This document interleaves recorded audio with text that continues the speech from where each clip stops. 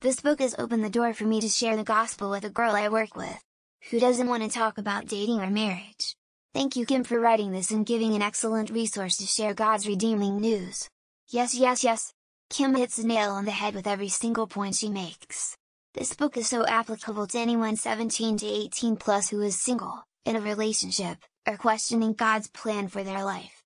Kim serves as a cool big sister, while still instilling so, so much wisdom into this book. It is easy to read, and downright laugh out loud funny at times. One of the top 5 most practically influential books I've ever read. This book is incredible personal, interesting, and practical.